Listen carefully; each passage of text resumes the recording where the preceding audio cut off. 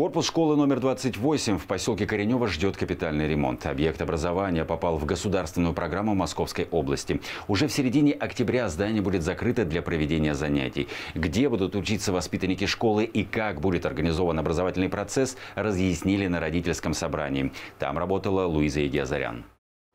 Корпус 28-й школы на улице Чехова, бывшая Кореневская школа номер 59. Здесь периодически проводили локальные ремонтные работы. Но здание, построенное в конце 60-х годов прошлого столетия, давно нуждается в глобальном обновлении. Стопроцентный износ всех коммуникаций, неудовлетворительное состояние кровли, учебных кабинетов и отсутствие вентиляции. Все это отражается на здоровье и на успеваемости детей.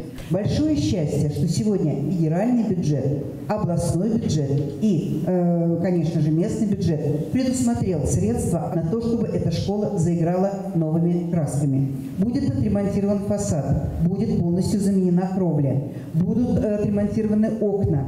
И таким образом будет создана абсолютно современная инфраструктура. Капитальный ремонт начнется с 14 октября, сразу после завершения первых осенних каникул. Школа вновь распахнет свои двери лишь 1 сентября следующего года. Вопрос, который волнует родителей, куда распределять детей на весь оставшийся учебный год. Самая ближайшая школа к нам относится, это гимназия 56-я, три корпуса. Здесь мы вам показываем школьное отделение, которое находится на Мичурина, дом 14, куда у нас с вами пойдут 9, 10, 11 классы в первую смену. Далее у нас второй адрес, это Федянина, дом 16, куда у нас пойдет начальная школа с 1 по 4 за минус двух классов. И также третий корпус, это на второй заводской, 28. Туда у нас пойдут два, два класса начальных школы и, соответственно, 5, 6, 7, 8 классы.